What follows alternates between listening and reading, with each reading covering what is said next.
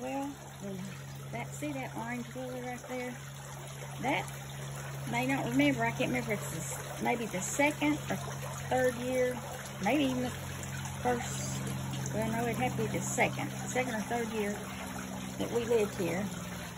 Becky came in for Mother's Day and she was supposed to buy a flower for the girls to give me for Mother's Day. And there it is. I still have it. That's that orange lily. Which Dad just about killed because he took the, when he rebuilt this pond, he spread the rock right against that lily. I thought, and they, this is the first year of bloom. Two years. So he thought he'd choking everything out, but they came back. Of course, here's my beautiful, I have to have this scaevola. It can get to cover this whole pot, group down, up, down, around. It's so pretty. See his fan-shaped leaf? It's so pretty.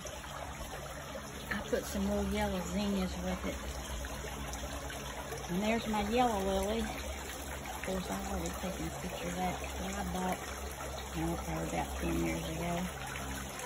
And right here around the pond, Oh, well, the sea, seashell down here, I put, I guess I bought all petunias put in here around the pond. No, that's right, I've got one, one container of that red is actually the double impatiens. Can you see, I've got my flying saucer hummingbird feeder. The hummingbird's already been out here, but for some reason, I don't see them for about a month occasionally. I see them occasionally. I've already seen him out here, oh, maybe once or twice a day. But by August, he'll be here a hundred times a day.